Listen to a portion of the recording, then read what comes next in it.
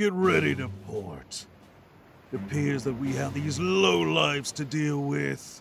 Disembark from this ship, small being. I will not allow you to disrespect Luffy's ship. Now, with that out of the way, How dare you propose an alliance with me, man! you rats! Learn your place, man. I guess your beam didn't work. Impossible! Only for that man, no one could have resisted me. How? It's very simple. You can't seduce a heart that has already been stolen! I'll steal the gloves, and you can keep the armor. Okay? Why would I look down on you? I hate the celestial dragon. Eh?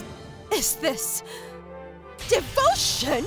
And thus, the Love is a Hurricane Alliance was born. The end.